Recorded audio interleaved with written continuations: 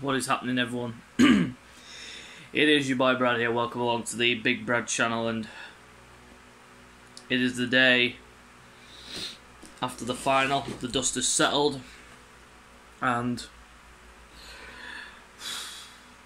Italy are the European champions.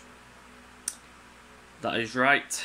England lose the European Championship final on penalties. 1 1 after 90 minutes, 1 1 after extra time, goes to penalties, and we lose 3 2. And we missed three penalties on the spin Marcus Rashford, Jadon Sancho, and Bukayo Saka. That, that was that was so harsh. That was so harsh on the young man Bukayo Saka to take what was renownedly known as the most crucial penalty of them all. And the pressure got to him. And are you surprised? He's a kid. And he stepped up to the plate, but Donnarumma read him and he saved it. And the way the boys just huddled round him, huddled round him after that, was just beautiful to see. And Gareth Southgate went straight over as well to um, give him a hug and him to keep your chin up, keep your head up. But it must have been hard for him. It must have been hard for him, Rashford and Sancho, who unfortunately, as well, I must get this in as well. Unfortunately, after the game, after the penalty shootout ended, they all received racist, yeah, um, racial abuse on social media. Disgusting, absolutely disgusting. Whoever these people are are not true born England fans. They are not true football fans. If they are going to racially abuse people, that's not. That's disgusting. That is absolutely disgusting. And especially for a 19, 20 year old kid who's. The pressure on his shoulders must have been massive. I mean, you're thinking we had Sterling, Grealish, all these other players, but Saka was chosen to take the penalties, and Gareth Southgate even admitted he said that it was um, his decision who took the penalties, and they had been practicing penalties if it ever came to that scenario, which it did, unfortunately. But commiserations to England, but I, I want to say a massive congratulations to Italy on winning Euro 2020. They've been for me, they've been the best team of the tournament. They've beaten Belgium, the golden generation. They've beaten Spain. They breezed through their group. I mean, what more can I say? Italy, under Mancini, 34 games unbeaten now. Congratulations. That's all I can say. Congratulations. Congratulations to Mancini. Congratulations to Italy. The commiserations to uh, the boys, and um, I'm not gonna I'm not going to slag Southgate off like most of the fans are um, around the world and around the country and such. I'm not going to slag him off because he's taken us further than we have ever been in our lifetime. I mean, check back the history books. I mean, World Cups. We've been eliminated in the most embarrassing way possible in some of them. I mean, we've been eliminated by in the Euros, particularly 2008. We didn't even make the tournament in 2008, and yeah, I could go on forever about all the different heartaches and such that have happened. But last night was literally just traumatic. And I mean, I as soon as Saka missed, I broke down. I literally broke down and. Um, I couldn't hold back my tears and I couldn't hold back um, my emotions. But I'm proud. That's all I can say. I am absolutely proud of Gareth and the boys for going, giving us a ride that we will never forget for a long time. We've reached a major cup final for the first time in 55 years. But unfortunately, it didn't come home. It went to Rome, and that's the way it is. But for me, I'm going to give a run of my, in my opinion, of the game. Um, starting off the first half, I mean, first minute, first minute, we go 1 0 up. Luke Shaw, just like we did against Ukraine, we go 1 0 up. But then, Italy are not breaking us down.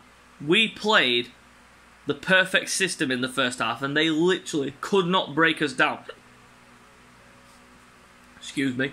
Uh, they couldn't break us down, and they hardly had any chances. But for me, this is where he got it wrong. This is where Gareth got it wrong. His decision making, his game management. I mean, we got to the 60th minute, and you're thinking at this point, we need Grealish on, we need Sancho on, Henderson. I mean, I'd have, I'd have bought Mount off at that point. I'd have probably bought Sterling off at that point because he wasn't really affecting the game as well as we would have thought.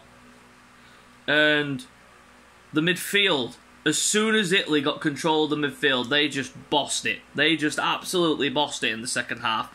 As soon as they got control of the ball in the midfield, they just put us to sleep. And I mean, Jack Grealish did come on late. It was way too late, and wow. But those are the decisions that he had to get right, and he didn't. And unfortunately, Bonucci equalised. But Chiellini, for me, and Jorginho, neither of them should have been on the pitch. Neither of them should have been on the pitch because Chiellini, he literally grabbed Saka's shirt and pulled it back like he was going to strangle him. He was strangling him. He was literally pulling it back. That's a red card. Any day of the week. And Jorginho, he was going in for a, tackle on the ball. Jack Grealish was down on the floor. And Jorginho studs first, stamps on Grealish's knee. And it's just a yellow. Just a yellow. But I'm not going to blame the referee. But he did. The referee was a bit. He was a bit suspect, but I'm not going to blame the ref for the loss. It, penalty shootout. It's a game of poker. A penalty shootout is a game of poker. Then obviously we got to extra time after 1 1, flew through extra time, got to the shootout, and we were put through the most brutal heartache you could ever imagine as a football fan. Penalties. They are they are traumatic. And I mean no team likes to lose on penalties, but it's just the way it is. It's just the way it is. But I'm so proud. I'm so proud to be English. I'm so proud of the boys for getting us this far and taking us on this exhilarating ride. But now it's back to club football. Back to club football now. And um, we move on. Next year, could it come home next year? Qatar 2022? We still believe. We still believe. But I'm just going to run through um, my my player ratings um, for the game. Starting goal, John Pickford.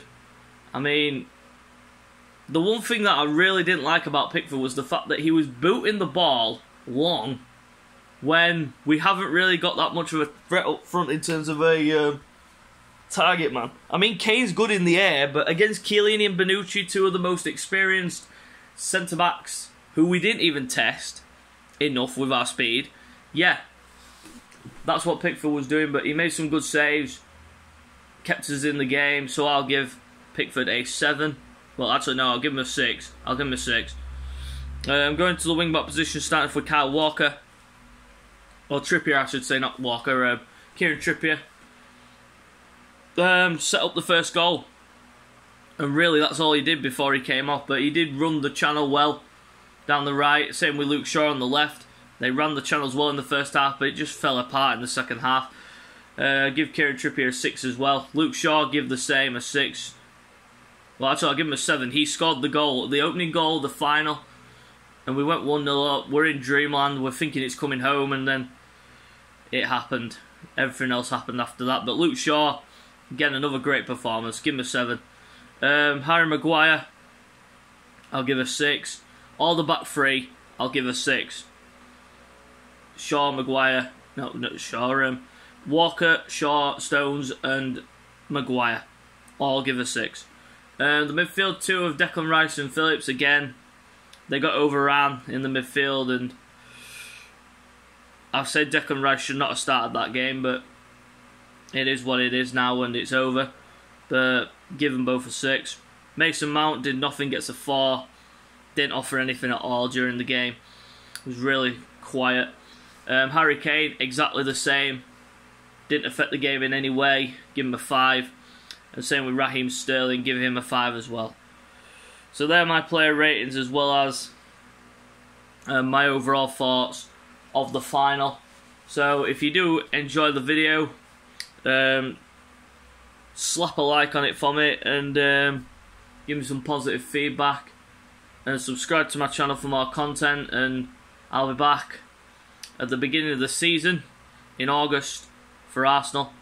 So until next time, we will see you later. Commiserations to England. God bless.